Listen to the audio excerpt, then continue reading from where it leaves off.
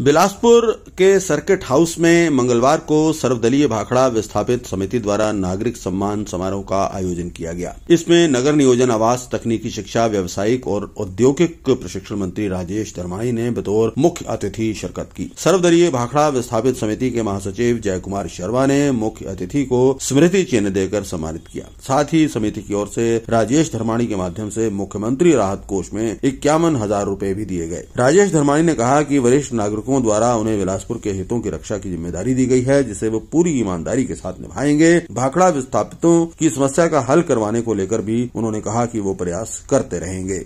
बिलासपुर के जो हमारे वरिष्ठ नागरिक हैं, उन्होंने मुझे जिम्मेवारी दी है कि जो बिलासपुर के हितों के लिए आपने लड़ाई लड़नी है, मैंने उनको भरोसा दिलाया है कि बिलासपुर के विकास के लिए, बिलासपुर की समस्याओं को सुलझाने के लिए जो भी मुझसे योगदान बनेगा, हम उस योगदान को निभाएँगे, उस जिम्मेवारी को निभाएँगे।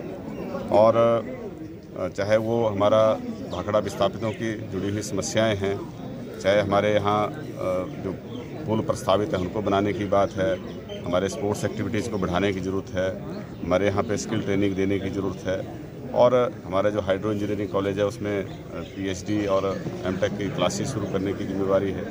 इन गतिविधियों को हम बढ़ा रहे हैं। और अभी जो बिलासपुर के जो त्रिवेणी घाट है, वहाँ से पानी की स्कीम जो बनाई जा रही है, अभी ठाकुर रामलाल जी ने बताया कि उसमें जितना पानी है, उसका लगभग टू थर्ड जो है, उसको उठाने के लिए एक नई स्कीम बना रही है। उससे हमारे बिलासपुर की लगभग तीस बत्तीस स्कीमें जो हैं, वो प्रभावित होंगी।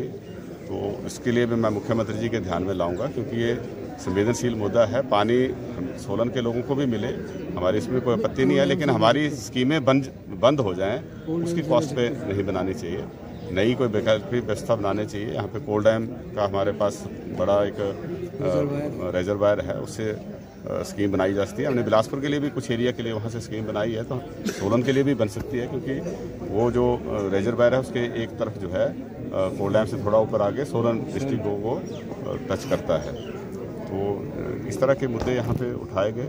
निश्चित तौर पे हम इसके प्रति गंभीर हैं और बिलासपुर में पर्यटन और औद्योगिक गतिविधियों को बढ़ाने के लिए हम प्रयासरत हैं और बहुत जल्दी ये धरातल पर देखने को मिले